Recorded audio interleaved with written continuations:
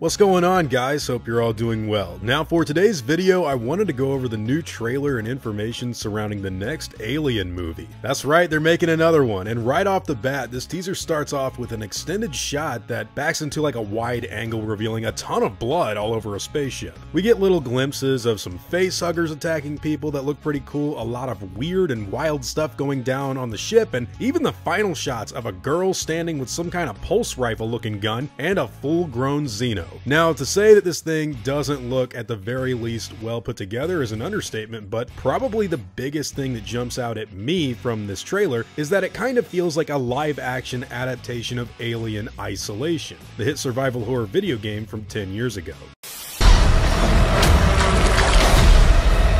The thing looks slick, it looks dark, and it looks visually very similar to the 1979 first film, although it does seem like they're also incorporating ideas from James Cameron's sequel. Now, I don't really know how this thing is going to go down, but judging by the trailer, the tone of the movie is pretty basic. It looks like we're going to get a very back to basics, old school alien feel, more like that slasher science fiction horror idea, and we haven't really seen that in a while. Alien Covenant came out seven years ago, and I know that there's a lot of people that hate that movie but there's also a lot of people that kind of like it. Personally, I haven't seen it in a while, and every time I have seen it since then, it's gotten slightly worse, but I never hated the movie. Like, I liked a lot of the action scenes and stuff like that, and from my understanding, they with this movie, they kind of wanted to move away from the more prequel ideas, especially with David, and kind of do something else, which, by the way, there's a lot that they've revealed about it already.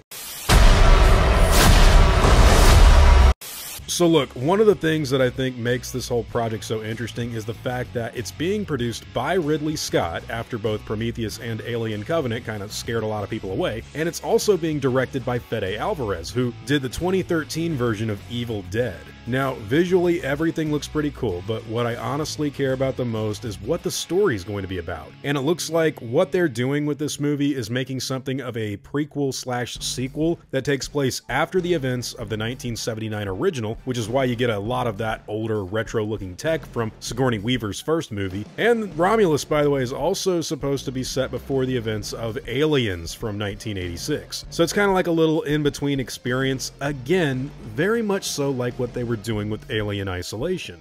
An unknown type. Some kind of alien organism. It's extremely dangerous. You and Taylor Ripley, need to make. Taylor is hurt. She was injured by debris during the crossing.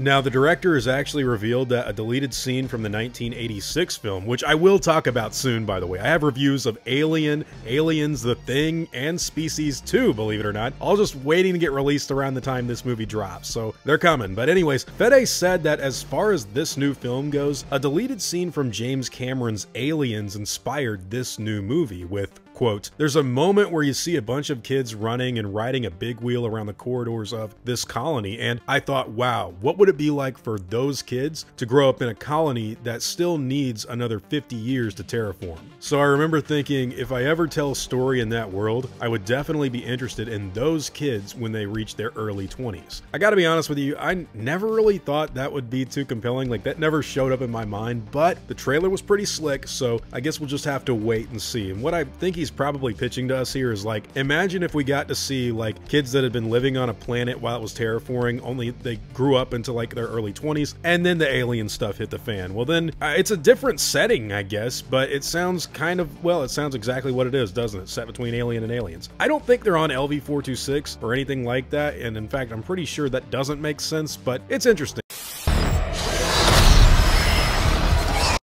Okay, so the actual plot of the movie is supposed to be, quote, while scavenging the deep ends of a derelict space station, a group of young space colonizers come face to face with the most terrifying form in the universe. I don't know where they came from. In the original Alien movie, they were on that space jockey dude ship, so I guess there's eggs or maybe aliens on other parts of the galaxy, and they just kind of stumble across one. It's going to be interesting to see how they actually dive into that. Now, the lead role is going to be played by Cailee Spaeny, Who is stepping into some colossal shoes from the one and only Sigourney Weaver, who is not only one of the most prolific science fiction stars of the entire 20th century, she's also showed back up recently in Ghostbusters Afterlife, which is another big brand that she's a part of. Now, Cailee and everyone else involved with this movie are probably going to be playing more rough and tumble style characters than what we've seen from the more recent Ridley Scott prequels, or at least that's just my best guess based off of this footage. It's a shame we don't know any character names just yet, but apparently Ridley Scott has seen the film and really liked it, especially the writing. And part of me wonders how this lead role is going to be different from Ripley. I'm sure she'll do a good job, but I kind of want to see like what's going on here, like who is this and how do they play into alien stuff. You know, I also kind of want this to be tied in to the originals, which I'll go into later. I know they had Amanda Ripley in Alien Isolation, but it made sense. And not everybody has to be related, but it, it, you know, if you want a tied in cohesive universe, it doesn't hurt. So we're going to be waiting to see how everything shakes out. But for now, this is all we really have to go off of.